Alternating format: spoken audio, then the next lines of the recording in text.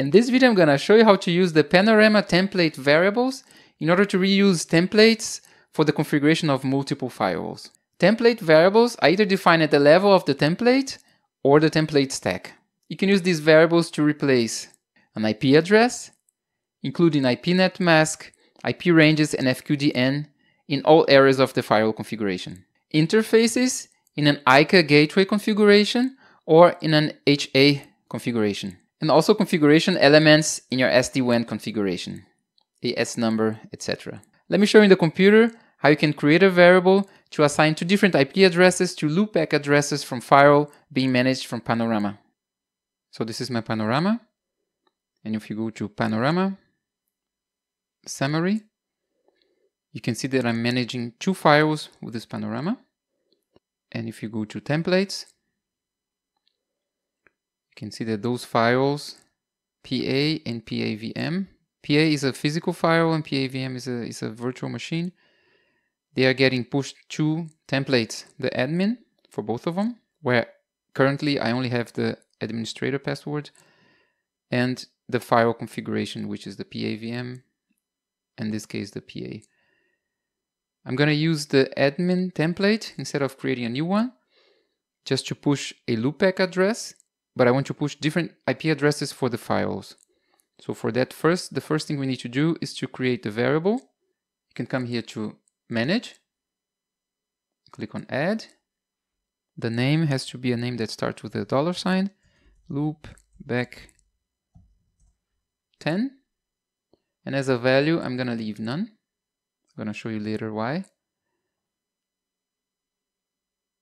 And then click on close. So now I have a, a, an empty variable inside my admin template. Even if the variable has no value now, I can use it to build my configuration. So if I go to network now, interfaces, loopback, click on add, I can use this variable already in the template. 10.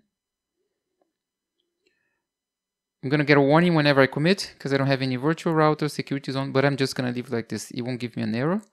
If I go to IPv4, and click on add, now it's offering me the dollar loopback 10.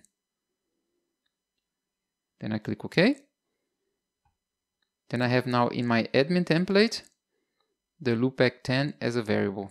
If I commit the configuration now, I'm to get an error, like I said, because the variable has no value yet. To give a value to this variable, you need to go back to Panorama. And under the templates, we're going to use the template stacks to give different values to the files. So my PAVM, I'm going to go to manage, is going to get the IP address 10.10.10.10 as a loopback address. For that, I need to click on or select this checkbox and click on override. And then here I can enter the real IP address or the IP address that the file is going to get 10.10.10.10 slash 32. Click on OK. I'm going to do the same now for the other one. The other one is going to get 10, 10, 10, 20.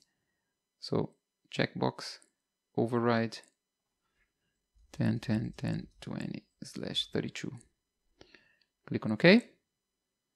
Click on close. Here under view, you can take a look which, which values the variables, all the variables you have and which values they are going to be committed to the file. So this is 10, 10, 10, 10. The other one is going to be 10, 10, 10, 20. There you go. Now we can commit our configuration. If I click on commit and commit to Panorama, I can see that the template admin is being committed and both template stacks. If you click on preview changes, you're going to see what Panorama is changing. So it's creating somewhere the loopback address, it's giving the IP address, dollar loopback 10 is creating the variable and it's assigning the IP addresses to the variable.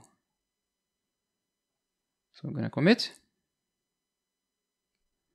Okay, my commit is through. Now I'm going to click on close and push the configuration to the files, push to devices. And here you can see that it's committing to the PA stack, PAVM stack. And I just need to push. So I'm at my file now. The configuration has just been committed. You can see here in the back that the file doesn't have the loopback address 10. Click on close. And now we're going to refresh this page.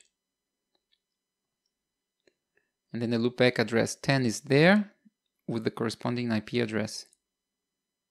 Back to Panorama, the advantage of using variables, especially when you have more complicated configuration, is that whenever you get a new file that's supposed to receive this template, you just have to add it to the stack and go to manage and add values to the variables and then you don't need to make the whole configuration again. This is the big advantage of using variables in Panorama.